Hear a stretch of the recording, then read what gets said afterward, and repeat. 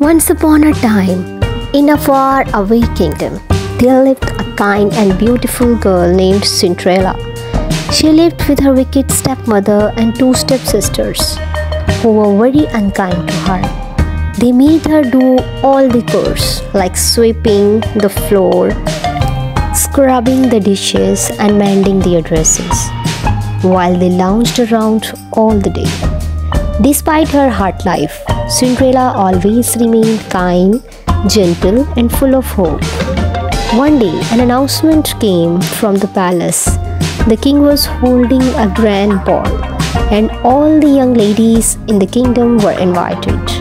The prince was looking for a bride, and everyone hoped to catch his eye. Cinderella's stepsisters were thrilled and spent days preparing their dresses and hair. But when Cinderella asked if she could go to, her stepmother laughed cruelly and said, You? Go to the ball? You are not fit to be seen. Then she tore up the dress Cinderella had made from scraps. Heartbroken, Cinderella ran to the garden and cried. Suddenly, there was a twinkling light and a sweet voice called, Don't worry, my dear. When Cinderella looked up, she saw a kind woman holding a wand it was her fairy godmother. Why are you crying, dear? The fairy godmother asked. Cinderella wiped her tears and explained her troubles. I wanted to go to the ball, but I have no dress, no way to get there, and no hope. The fairy godmother smiled warmly and said, Leave that to me. With a wave of her wand, she turned a pumpkin into a sparkling golden carriage. Then she turned six little mice into horses, a rat into a coachman, and lizard into footman.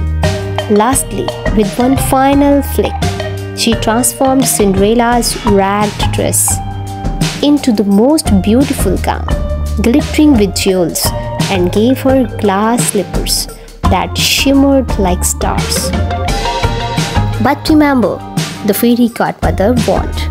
The magic will only last until midnight.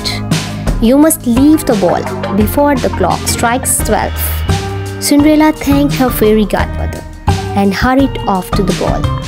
When she arrived at the palace, everyone, including her stepmother and stepsisters, stared in awe at the mysterious beauty who had just entered.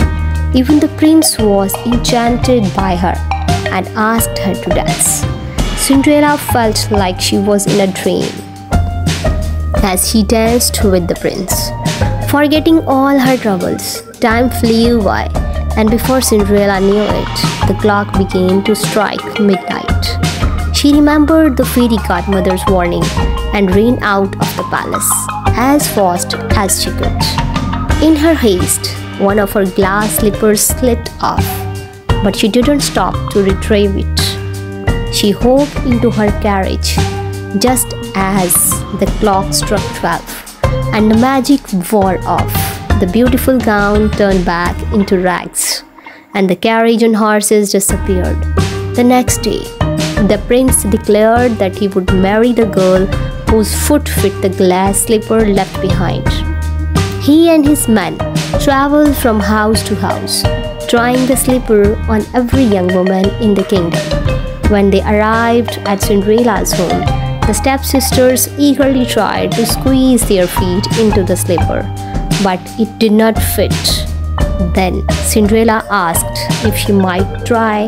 Her stepmother scoffed, but the prince's men allowed her. To everyone's surprise, the slipper fit perfectly.